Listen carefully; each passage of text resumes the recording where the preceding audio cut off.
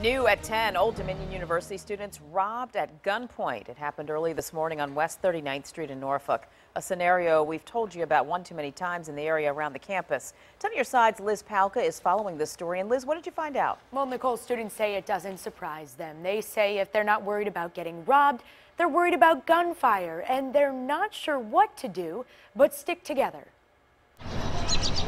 Stuff happens all the time up and down the street. When Michael Mazza says stuff happens, he's not talking normal college antics. Our house on the corner right here has been shot, at least six shots are put into their house, and then our neighbors right here are robbed on their own. He's lived on West 39th Street the last three years. In the past three years, there's probably been four or five robberies, two or three shootings.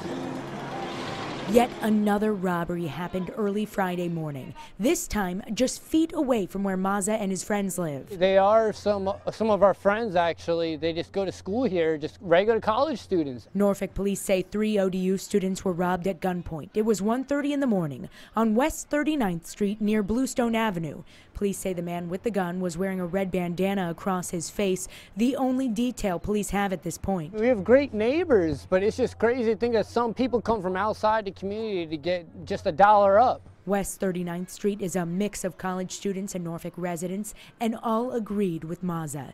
They worry about the crime they're hearing more and more about, and can't forget that a little more than a month ago, an ODU student was shot. That happened just blocks away from the latest armed robbery. Even though you want to have a good time, it's hard to do that worrying about getting robbed and even, I don't know, shot. It's hard to, it's hard to deal with that because it is college and he'd rather focus on that. You're in school, you shouldn't have to worry about somebody robbing you.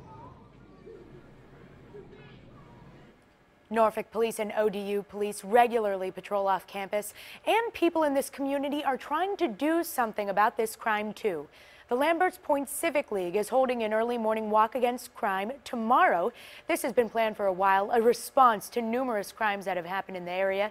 They'll start at the corner of 40th Street and Bowdens Ferry Road at 8 a.m.